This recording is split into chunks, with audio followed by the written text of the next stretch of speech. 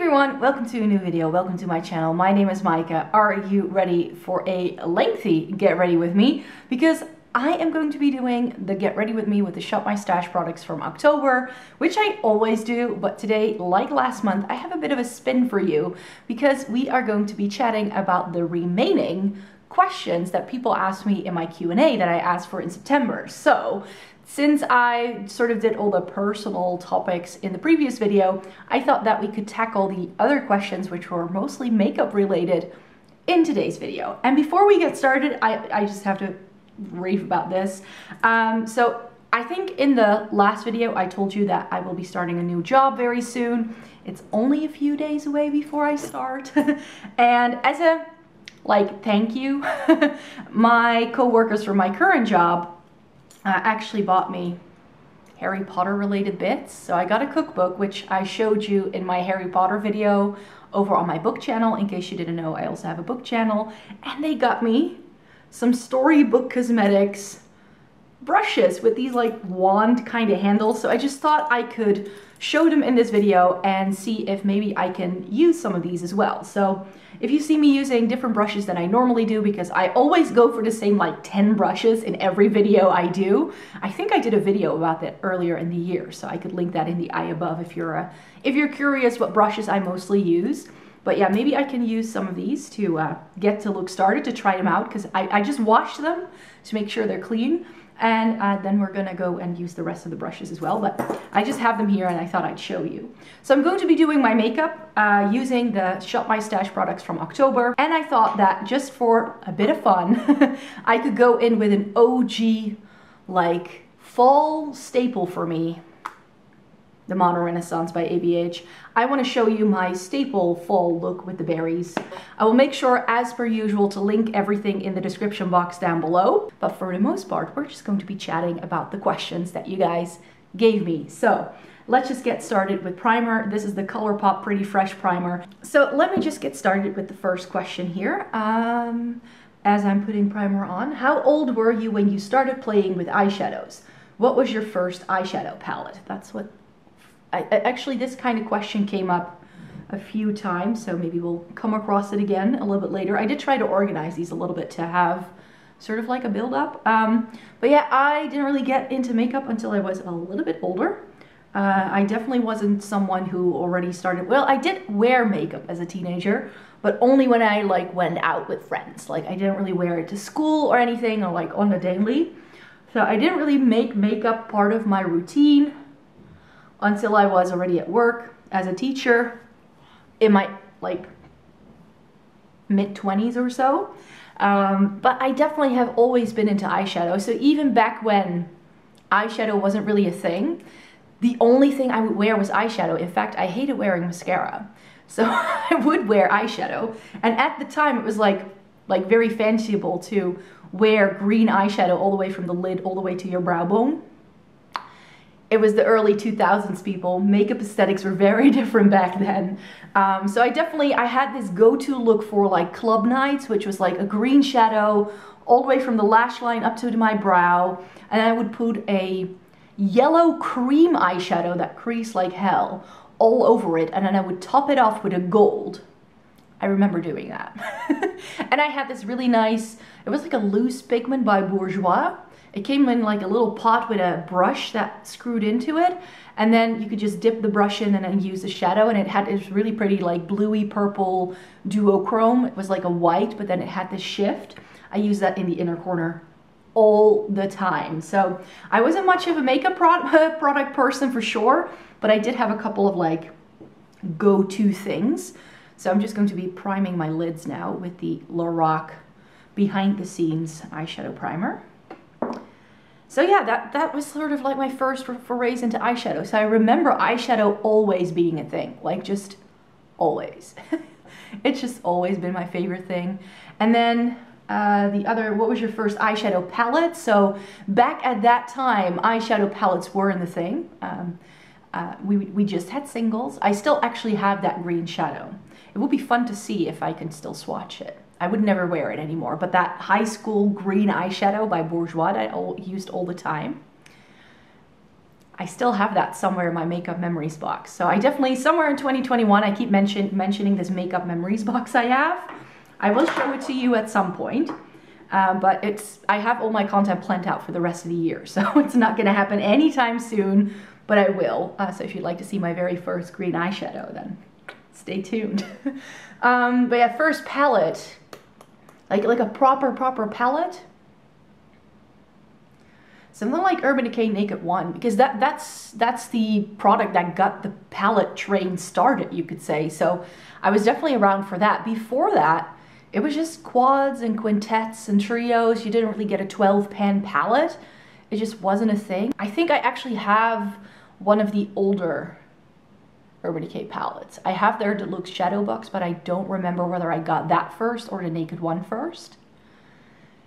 I think I got that first. That and the, I decluttered it a long time ago, the Sustainable palette, I think it was called. Let's just do foundation. The Catrice True Skin Foundation. Um, this is a new launch from Catrice, so of course I wanted to try it. Guys, if you have dry skin, stay away, stay away. This is going to be, like that's, this is the reason why I'm using it in today's video to show you again what happens when you put on this foundation. Uh, I've used it over two different primers. So I know it's the foundation and not the primer I was using, but it won't stick to my nose. Let's talk about question number two. If you started a makeup brand, what would, the, what would be the first three products you would launch? And you can't answer eyeshadow. Well, actually, I wouldn't launch eyeshadow first because I'm super picky when it comes to that. So I definitely would want to know a little bit more. So I think what I would want to start off with is lipstick. Uh, because I actually think that a lipstick makes a much bigger difference in your overall makeup look than eyeshadow does, even though it is like my favorite product and it was also one of the first makeup products I ever used. Um, so yeah, lipstick, I would definitely launch like first because I would want to do something with a color product. Um, and then I think like a brow gel, because again, brows I think make a huge, huge difference in your makeup look. Uh, so like a good, like kind of brow gel that has a, like a texture, something like what I'm going to be using in a minute, the Essence Make Me Brow, but then like my version in more shades. Um, that for sure. Um, and then the third product, um, not a base product. I'm actually not that much of a base product kind of person. That was like the last thing I added was like primer and foundation and things like that. I was not into that. Maybe maybe something like a bronzer or something because I think like Bronzer can be used very easily as eyeshadow, and if you then make it like a double pan with like a shimmering side and a matte side, then you pretty much have an eye look, as well as something that you can use on the face to warm things up and make everything look a little snazzy. So I was very happy that I also brought in the Zoeva concealer. This is a little too light for me though. This is their Authentik Skin Perfector, and this is like the foundation from Zoeva that I tried last month, really lovely. So, Shall we answer another question? How would you like to design your own eyeshadow palette if you had an opportunity to do so? Actually, I did a video about this, so I can just link you in the eye above to my perfect cool tone palette because I sort of did a fantasy palette kind of thing, I think oh to spring summertime, where um, I sort of talk exactly about this. I talk about how many pans it would have, what the packaging design would look like. Like I go into everything there and then which 15 shades I would put in, in it. And of course it would be cool, tone, cool toned. So uh, I have a video up with that. So I, I don't remember exactly which shades I put in. Uh, but I know there was a stunning navy from the Melt Muerte palette in there. So nice. Uh, question number four. If you were to make your perfect six pan eyeshadow palette, which eyeshadows would you choose? So the palette I made in that video had 15 pans because I was like, I want it to be neutral, but I want to put in colors and I want there to be enough mattes and shimmers for everyone. So that's why I ended up with a 15 pan. And that's also sort of like 12 to 15 pans is like my ideal amount. So six shades is actually a little challenging. So let me think about this. Uh, we would definitely need to have a taupe and a teal for sure. And then like a matte transition shade because I do like that. Um, maybe like a good plum, like a plum to deepen things up. And then like a nice inner corner highlight, something bright and shimmery. Uh, Starboy by Looxi. I know I put that in that 15 pound palette. That would for sure go into this again. I think that's five. So we have an inner corner highlight, a matte transition, a dark matte plum, like a cool tone, like a cool tone purpley kind of shade. Uh, but then matte to deepen things up, a teal, a taupe, maybe like a really good navy shimmer. Just I love navy shimmer, you guys. It's actually, I think that now that I've filmed all of my like single shadows altogether. like in terms of like singles, I have quite a few navy shades because I just love a good navy shimmer. So maybe that. I think those would be the six for sure. Uh, number five, if you could choose a collaboration, which brand with which influencer, celebrity, TV show, movie would you choose? Um, I'm going to be a bit controversial here, and I would like to ask people to please stop doing collaborations.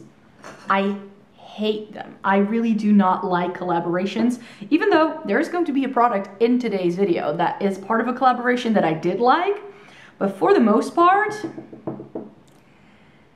I'm like, uh, like, like I get it from a marketing perspective. I do but I don't like it because here's the thing very often I don't find the products worth it to buy just because it's a collaboration. I know that there's some people who will say like, oh, I bought this palette because it's a collaboration between brand X and so and so, and I'm like, that has never ever ever been the reason for me to buy something just because it's a collaboration. I do I do kind of like uh oh, what's the director's name again? The one from Grand Bud Budapest Hotel. Like he always has like really cool color stories in his movies and I really like that. And I just finished watching Ratched on Netflix and I really really loved like those vibrant pastel kind of 60s kind of shades that are in there. There's the aesthetic of that series was absolutely lovely. Sure, like Harry Potter is like one of my favorite things. So yeah, these like brushes, but this is not a collaboration because I don't think Storybook Cosmetics actually has the rights to anything Harry Potter related. Like that's the thing, like the Storybook Cosmetics like wizardry kind of palette. You would think I'm all over that thing because I love Harry Potter, but I just don't like the shades that are in there. So then I don't buy it. But is there anything I'm really wishing would happen? No. Uh, this is the powder I just put on, the Hourglass Veil Powder. Moving on to brows, so I've got my Etude House Drawing Eyebrow Pencil uh, still. Um, I'm actually a little sick of it again. Just like with the Essence pencil I was using before, I'm sick of the product, but it's a bit too red tone for my liking now that I've used it enough. And of course, my old favorite, the Essence Make Me Brow. I thought they were discontinuing it because it was on the leaving us soon kind of page of their website, but then they now release the new products and it's still here. So Essence, please don't mess with us again, please. Um, question number six, if you can only use one brand for your whole face, skincare exempted for the rest of your life, what brand would it be? Urban Decay. There is, I don't even have to think about it for that long. Uh, because Urban Decay is like the only brand, of course, currently not all of the products are in their line anymore, um, but for instance, they've discontinued most of their blushes and their highlights and all that. So you can no longer buy it.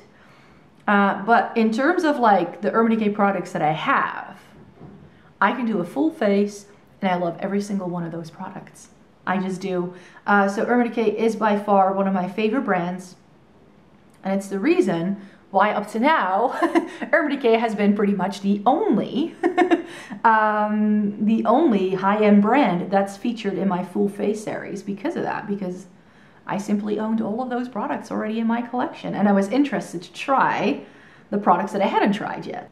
Seven, what will be a good and boring beginner's palette with everyday neutrals but not leaning orange at all and not too gray either. For hooded eyes, so maybe not too shimmery, I find it difficult to find the perfect one. I have the answer for you. Again, I don't have to think about this at all. Tarte Tartelette in Bloom. It's got cool tones, it's got neutrals, it's got warm tones, it has three shimmers, everything else is matte. It lays it out perfectly for you because every single row you have is a look, so you can go cool tone, neutral, or warm. It's not too orange, it's not too gray. You can mix and match once you feel a bit more confident about it. So yeah, for me, what I always recommend to people if you want just a foolproof, beginner's neutral palette, Tartelette in Bloom by Tarte. It's simply the best. till this day, I don't think anything beats it. Question number eight. What was the product or experience that made you realize that makeup was such a passion for you? Hmm. Um, like I mentioned, I didn't really get into makeup until later. I was a, um, I only use makeup when I go clubbing kind of person uh, for years. So I had a bit of makeup, but I definitely, like, of course, when I was a teenager, we didn't have this resource like YouTube and people chatting about makeup all the time. It was definitely a struggle at first, but made me realize that makeup was such a passion for me it's it wasn't one thing actually. It's been a very very gradual process with me. Like if I look back, like if you'd have told my 20-year-old self that 15 years later I would be on YouTube making videos about makeup, I would probably have laughed at your face. because I was like the least makeupy person at all. Like I had spiky short hair. I was a complete tomboy for most of my like childhood and teens. And the only reason why I really got into makeup is because I had a colleague at my first teaching job who came to school wearing makeup all of a sudden. And, I was like oh you look really nice. Why you know I haven't seen you wearing much makeup. And she was like yeah well I, uh, I, I just wanted to look a little bit more awake. And I was also having these like 6 a.m. wake up calls. So I was like that sounds like a good idea. And that's when I sort of started tracking it down you know to see if I could wear makeup and that's when I started trying things out so for me perhaps becoming a teacher would be the experience. Um, I'd like to ask you, can you remember what the first item of makeup was you ever bought and the first palette you got? So first palette for sure an Urban Decay one. Um, and when it came to like makeupy bits, it's not really makeup per se, but beauty related. I was a nail polish fiend in my teens. Like I was 12 and I was, all I would wear was like black nail polish at first going in with bronzer, by the way. This is Max Factor's ooh, cream bronzer light gold. It's a powder. It's not a cream bronzer, but this is fairly nice. I do feel it oxidizes a bit on me uh, as I wear it. So it looks really nice on first, but then it becomes a bit darker. So I'm not going to put too much on. Um, so yeah, nail polish was where I got sort of got started, and then that green shadow, as I remembered from, uh, as I already mentioned, from Bourjois. And then for highlighter, I'm gonna go in with Melt. This was new this month and I did review this on my blog as well. So if you'd like to see a full review of this, it's a really, really stunning highlight. I really, really like this. It's got just the perfect amount of sheen. You'll see it in a minute. Um, question number 10. What is your favorite makeup item in your entire collection? just one? Can there be only one?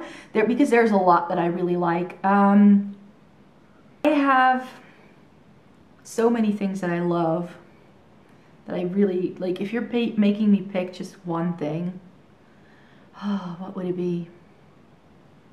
I think my Urban Decay Vice 3 because just because of how much effort it took me to get my hands on that palette because I realized too late when it had sold out everywhere that I wanted to own that palette. So I had it shipped to a friend in the US. I was gonna meet up with her anyways for a concert. So she drove it across four states for me. And then it was in my uh, luggage for, I don't know, the rest of the trip, like three weeks. I lugged it around North America with me.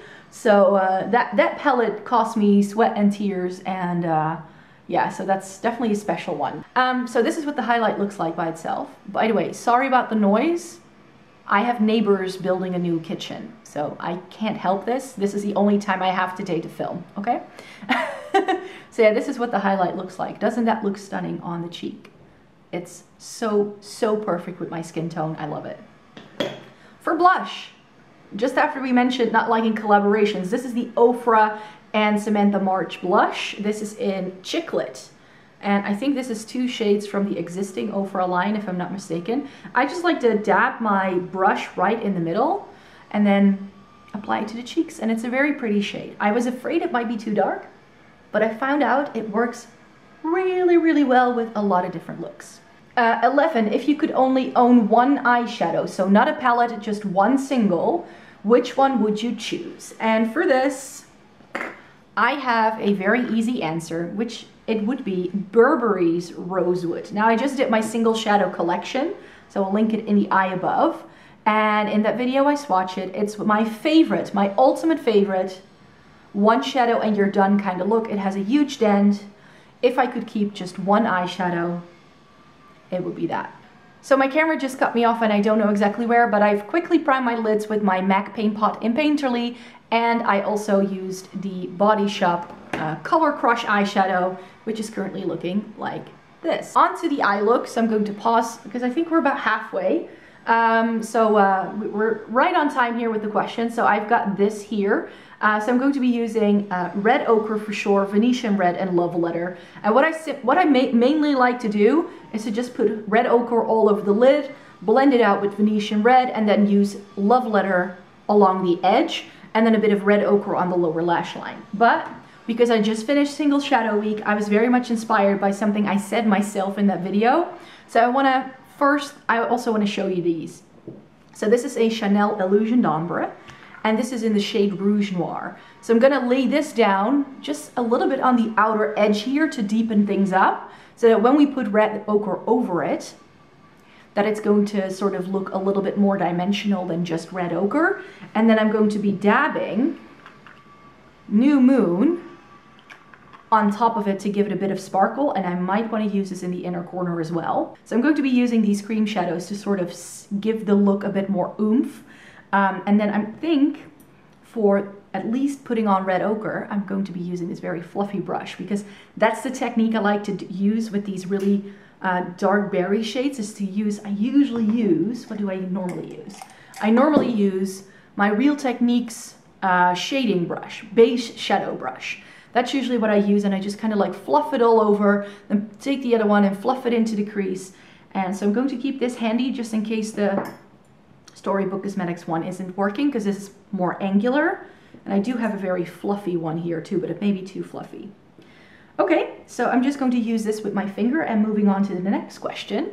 Uh, do we want to zoom in? I'm going to keep you here. Do you mind? Because then I can, then hopefully the focus isn't thrown off.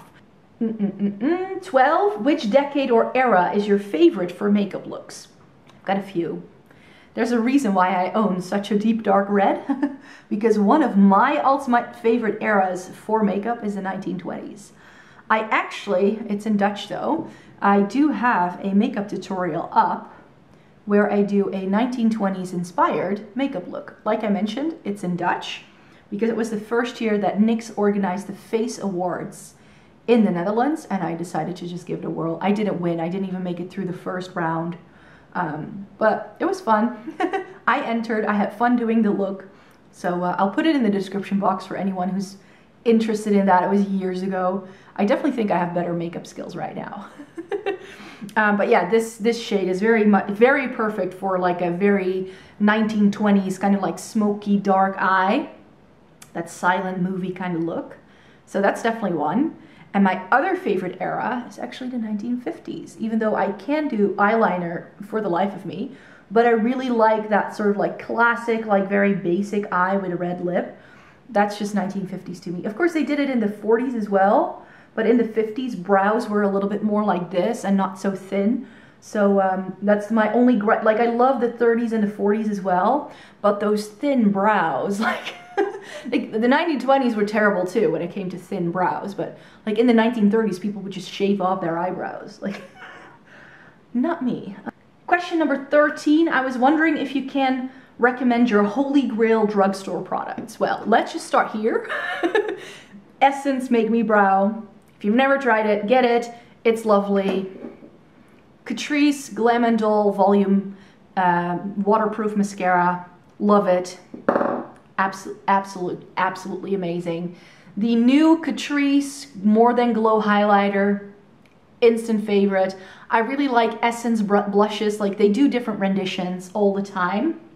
I'm gonna go in with red ochre. Um, but yeah, they, uh, they just do some great blushes that are not that expensive. And so Essence for sure. Maybelline for mascara.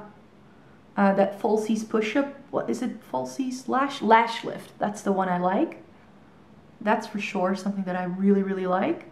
Um, what else? Oh, L'Oreal Infallible Foundation. My favorite drugstore foundation. Uh, the uh, Freshwear. Concealer, uh, Makeup Revolution, Conceal and Divine, Define Concealer. That's my favorite drugstore concealer. Primer, uh, Catrice dis discontinued my favorite one, which is their uh, Fresh It Up Primer. They're supposed to be coming out with a new hydrating primer, but I haven't seen it anywhere yet. So I haven't been able to try it to see if it compares. Um, and then for, hmm, this is quite a nice brush. And then it's a bit big for me, but for something like this, it's fine. I don't really have a favorite drugstore powder. Maybe the Catrice Nude Illusion. I do really like it. It's a loose powder. It's like one of my all-time favorites. I've done mascara. My favorite bronzer you can no longer buy from the drugstore, so we're not going to recommend that. I've done highlight. I've done blush. Essence for sure. Uh, and eyeshadow, I think it's drugstore price point, but you can't buy it everywhere. I definitely think Juvia's Place just takes the cake. They just do the best affordable eyeshadow. So I've just set the look up here. Do you see how you create a really nice gradient by putting that Chanel shade just on the outer edge here? And I'm just going to put it on that tip here. And then we're gonna use it to blend out this shade. Like this is going to be an intense berry eye, people. Don't, don't be scared. Um, do we have another question? Um, oh, skincare. 14. What's your holy, holy grail skincare product? Um, so I've mentioned a lot on here how much I love the Body Shop for skincare. And my favorite line from theirs is their um, aloe vera line. And they do this foaming face wash that is great if you have sensitive skin and that would be like my holy grail product. I keep it around all the time. Like if it's if I run out of one, even if I have no intention to use it, I'll just buy a backup. Like I just need to have that product in my life. Like it just needs to be there. Uh, let me see. Um, 15. I would like to know if you have tried any eyeshadow from the clean makeup lines and what are your thoughts on clean makeup in general, i.e., uh, or uh, for instance, Ilia, Aether, Kosas, all the brands you're mentioning in this question, I cannot buy where I live.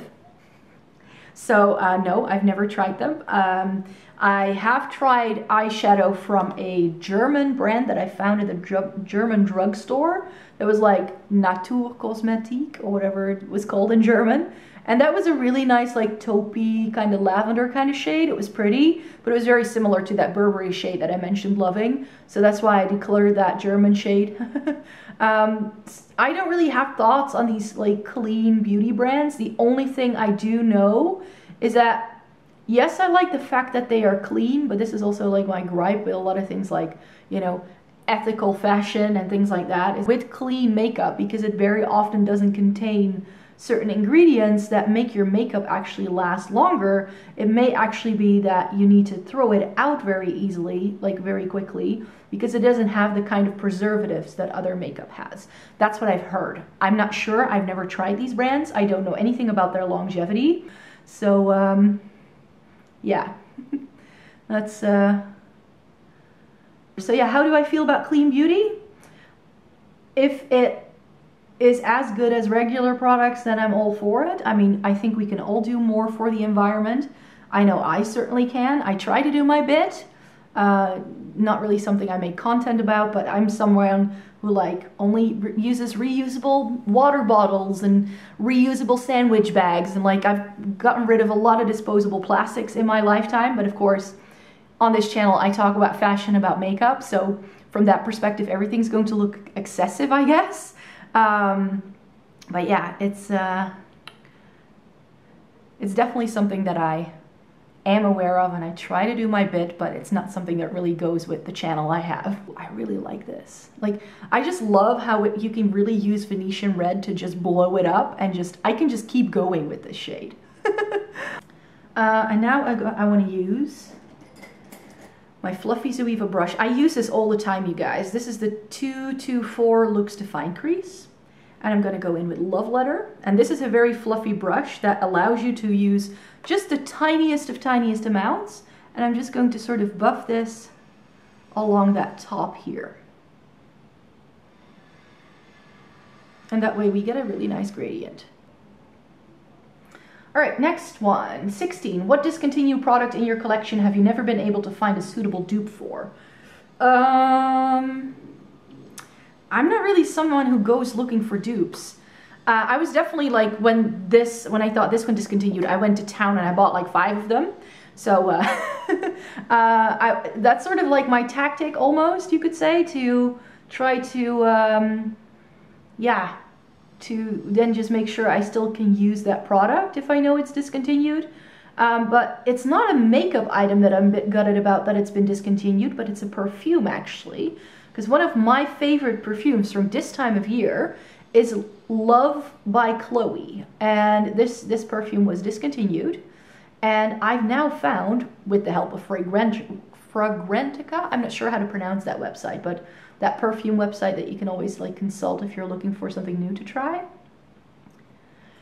And they recommend trying a Pull&Bear store brand perfume that it's very similar. So I definitely want to buy that to see if it is similar because I still have some of my Chloe left. I only got it in a 30 ml bottle at the time because I was trying out so many different perfumes. So I would be very gutted if that was ever, like if it ran out because perfume is definitely something that I do use up. And um, yeah, that, uh, that is definitely something where I'm like, ooh, I'd like to find a dupe for that. But with makeup, I don't really have that because very often um, I just have that issue where I have so much makeup that I don't really run out of it. So even if something is discontinued, I know there's going to be like the next best thing. Urban Decay Naked 2, I simply bought a backup of it. It was discontinued. I found out. I found one on eBay. I bought it. I now have a backup. I don't have to worry about finding a dupe for Urban Decay Naked 2. Like that's what I do. I would then buy a backup. If I know something's going to be discontinued and I can still get my hands on it, I just buy a backup so it won't be out of my life. Can we just take a moment? I'm gonna zoom in. We're, we're, I'm gonna shut up about these questions for a minute and we're just gonna take a moment. Do you just see how you can create such a stunning gradient with these berry shades. Like, I love this. And especially once, once it's finished, it's going to make my eyes look more green. Speaking of the lower lash line, let's just uh, start off with that. So I think I'm going to use one of my other Storybook Cosmetics uh, uh, um, eyeshadow uh, brushes. And I think there's actually two of the same, like they seem to have the same handle and they also seem to have the same shape. So I'm not sure if that's supposed to be the case. This was a gift, so I don't know whether what this set was supposed to entail. But this is a very stiff brush. So I think it can be very good for like, and it's small too, to pick up a bit of this cream shadow and to put it along the lower lash line. Let's try this. Making sure I close it really nice and taut so it can't dry out. Let's go back into another one of these questions. 16. What, uh, no, 17, that's where we're at. In, in the 10 years that you've been blogging, we've all grown a bit wiser. So have you found it challenging adjusting to skin changes, especially eye makeup in general? So again, I already mentioned a few times, I got into the makeup game a little bit later than most people. And so for me, I don't really know what my makeup would have looked like if I were to try to do things like this because I wasn't doing my makeup like this when I was 18, 19. Like, I just wasn't.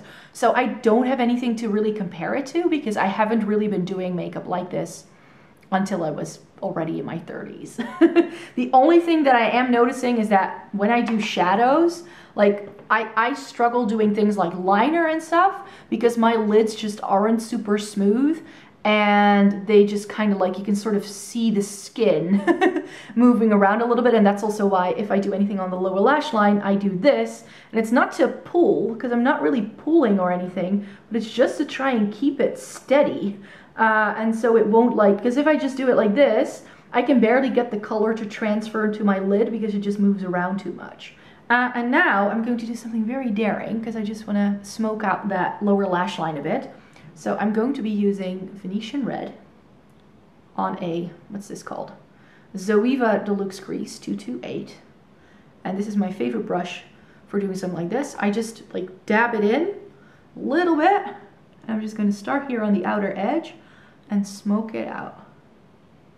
I'm going to go in with New Moon. And since this is a shimmer, I'm just going to dab it onto the center of the lid just to make sure there is a little bit of sparkle there. And this is like my favorite thing to do. Oh yeah, oh, this is great.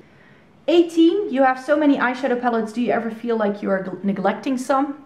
Yes, I do. Um, especially in the past year, I've started to feel that way. So I'm actually, I have a bit of a plan for the new year when it comes to acquiring new palettes because I definitely feel like I'm pretty solid on having tried everything I want to try. So I'm going to sort of set myself a bit of a challenge to buy no more than two palettes per month on average. So there could be a month where I buy nothing, but there could also be months where I buy like six because if I haven't bought anything the other months. So I'm definitely going to limit it so that hopefully springtime I can actually get round to some of my spring palettes. So what I tend to do is that I I use makeup, but in the spring, summertime, I have a lot of daylight. And so before I head out to work, I do all these eye looks for the eyeshadow palettes that I've bought to make sure I can write all the reviews, right? So um, that I have like at least like I want to do looks with every single shade in a palette before I review it. So there's always like three, four, sometimes two, one looks that I need to do with every single palette I buy. and so of the palettes that I have in my collection, I, I can guarantee you I've used every single shade ever um, because I just have. and, um, but I, I am finding that maybe what I should just start doing more is that on a day off, like today, it's a Sunday, that, and this is actually what, something I tried out the other week where I do my full face of makeup, do an eye look, take it off, redo my concealer and my eyeshadow base, and do another look and take the pictures that way so that I can get through it a little bit more quickly and that I can actually on the daily really go back to using some of my old favorites. Like I love the, Too Faced Sweet Peach palette in the springtime. It's just that I always use springtime and summer to take all of these uh, to take all of these pictures that I don't really get around to using it. Right now, it's already getting too dark in the morning before I start work to do an eye look to be able to take a picture of it. And then I go back to some of my OG favorite fall palettes like the Modern Renaissance, like the Subculture, and in the wintertime I go in with my Too Faced White Chocolate. And that's why I know I love these palettes so much because I reach for them all the time when I can't do makeup for videos or for, you know, content that I'm creating. So that's, uh, that's definitely something like I need to change in my habits, you could say. Uh, so that's why I feel now that I am neglecting some that Sweet Peach for sure, that Nabla Soul Blooming palette that I keep recommending as a great spring palette. I definitely want to go back to those shades. So yeah, uh, I, I just picked up my black eyeliner. This is by Marc Jacobs. It's a little Sephora point perk that I picked up last year. I just like sticking it in between my lashes and I sort of close my eyes. Ooh, it's a bit too far. And then I just kind of wiggle it. All right, uh, setting spray, the Catrice Sungasm it's about halfway gone, so I think I can use this up before the end of the year. Yay, another empty product. That's something I'm gonna do in January. One of the very first videos that will go live in January is my empty products for the entire year of 2020. I've been saving up all the makeup bits, all the beauty bits that I've been using up all year to do one big giant empties video. I thought that could be fun.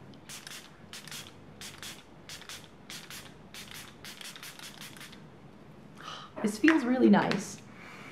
All right, um, let's do a question so this can dry a little bit. What are your top five must-have makeup products?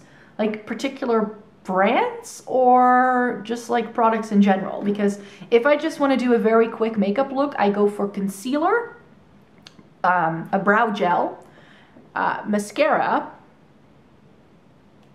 and a lipstick and bronzer.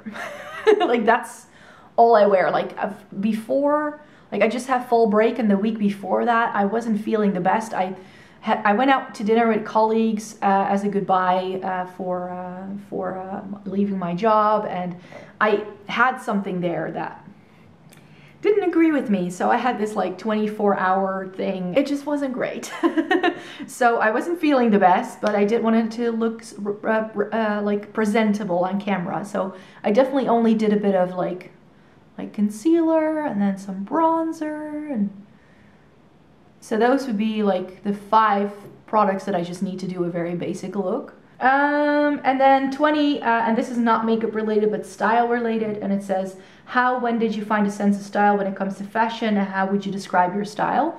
Um, so this is actually something I could do an entire separate video about. Um, but I am someone who has been into fashion ever since they were a kid. I had a favorite sweater when I was two, um, which was bright red and that I loved until this day. Red is one of my favorite colors and I just look good in red, you know? I, many of you have complimented me on like videos where I wear red lipstick. Something happens. I put on a red shirt or a red lip and it works great. Um, so yeah, red for sure. When did you find a sense of style? Well, I've always been someone who's just trying things out. Like I already mentioned being a bit of a tomboy when I was in my teens. But in terms of style, like I had a very particular style. Like I was wearing baggy jeans and like combat boots for a very long, like for most of my student years. And I cut my hair short and I was wearing oversized t-shirts. And then I got more into like um, like dresses and heels and that was like added into the mix. And the thing is that what I find with me anyways is that I never do a complete 180. Like I like one thing and then 10 years down the line I don't I completely not like it anymore. It's like a bit of it will stick with me. So I still really like quite like manly kind of looks. Like I really like brogues and like manly kind of shoes. I've, I've, I've owned a couple of, like a pair of Dr. Martens for such a long time and I still wear them, but I now wear them with dresses. So I tend to like, as fashion changes as I change, I definitely sort of create different renditions, you could say. So I've never, I, ne I don't really feel like I have one sense of style. It's just, me. and I've also been told this by colleagues actually, actually like there's only like a handful of people within this company that I feel have a personal style and you're one of them. And I'm like, yeah, I, I guess so. Like I just pick and choose things that I like, that I like the look of. I try a lot. Like I only film fashion hauls with the things I actually keep but the amount of trial and error that goes on behind the scenes is a lot. Like I will just like look at something and go like, that look good on me? and then very often the answer is just no. and I don't really share those kind of like faux pas um, because it's just, if something doesn't look right on me, I don't feel confident and I only want to wear things that make me feel good. So that's sort of what I go with. So also something like this, it's a very bold eye that is very red toned that can make your eyes look very sickly. I'm pretty sure people are now sitting like at the ready going like, you look ill in this makeup look. I don't care. It makes me feel good. and that's also how I sort of live my fashion life. When it comes to fashion, when it comes to makeup, I kind of just do what I like to do. And I've always been different and a little bit more daring than most people. It wasn't even my mom putting me in these things sometimes. Like, I already knew what I wanted to wear. Like, when I was six, I was all about the very sort of like twirly dresses. Like, all I wanted was a dress that if I spun around, that it would like fly up. Like that was my dream dress. And I think my mom, who made a lot of my clothes when I was a kid, actually just made the identical dress in like three different fabrics. so, because I loved it so much. So, yeah, that's that's just something that happened for sure. And um, we, uh, yeah, so I, I've always had this knack of like just knowing what I want and what I want to wear when it comes to makeup, when it comes to fashion. Like I've always had that. Um, so I, I don't really know when it started because it, it was just there. um, so it's not something that I developed. Well, I definitely changed over the years, like that tomboy pixie haircut dungaree wearing, combat boot wearing student life I lived is a very, very far cry from what I look like now. So yeah, I see my battery uh, flashing at me that it's almost empty. So I've been talking to you guys for over an hour, I'm sure. So I'm going to be putting on my favorite lipstick because that was tying into one of my other like questions that I just sort of have skipped on. Favorite lipsticks. These came back into stock this month. I placed myself an order because I love my order from last year so, so much. And it's the Lisa Eldridge uh, Velvet what are they called? True Velvet lipsticks. This is in the shade Velvet Muse because I knew with such with such an eye look, we're not also going to be wearing a red lip, people. We are going to be wearing a gorgeous warm tone nude. This shade goes with it so perfectly.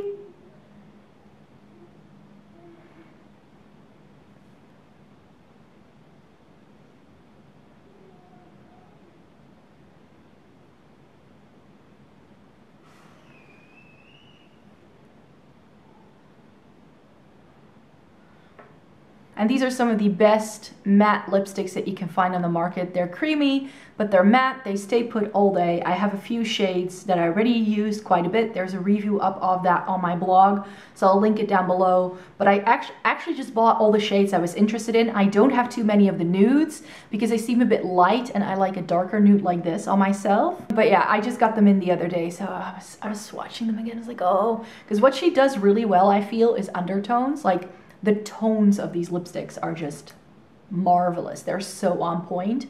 So yeah, those were 20 questions.